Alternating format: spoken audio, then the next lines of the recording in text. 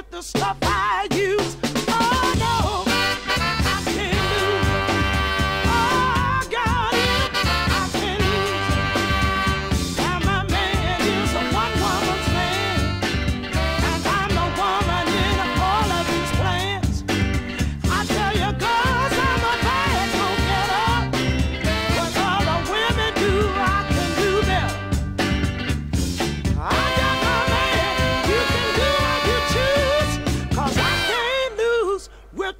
by you.